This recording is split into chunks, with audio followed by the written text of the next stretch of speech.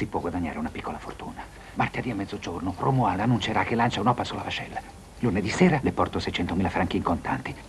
Martedì mattina di buon'ora lei andrà da un agente di cambio che io le indicherò e gli farà comprare mille azioni vascella a suo nome.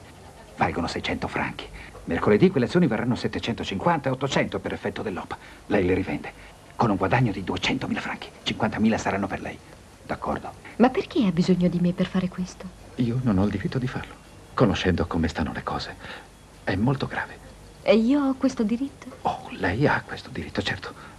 Ma non ne faccia parola a nessuno, nel modo più assoluto. D'accordo. 60.000 per me. D'accordo, glieli porto lunedì sera.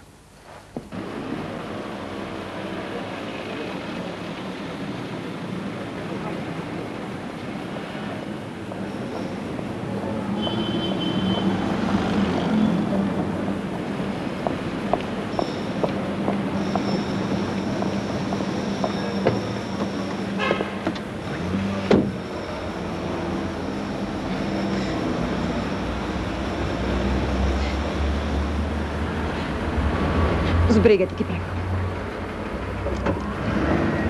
Signora Bonaventure, capisco i suoi problemi, ma anch'io i miei.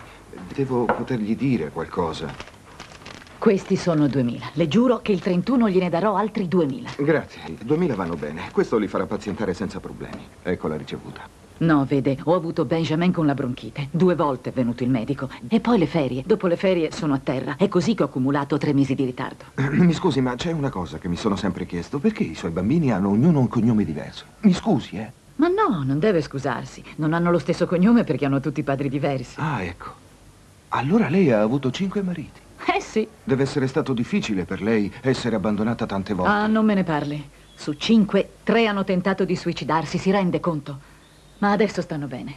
Si sono rimessi, li vediamo una volta all'anno, stanno bene.